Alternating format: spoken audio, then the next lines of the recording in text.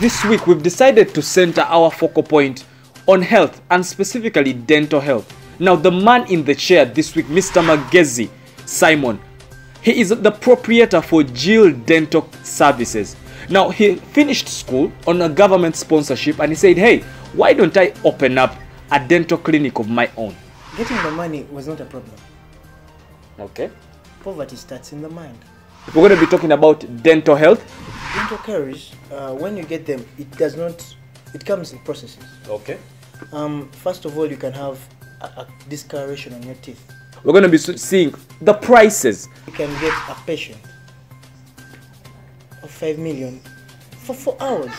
We're also going to be thinking what can government do to help such youth that are enterprising in their own profession.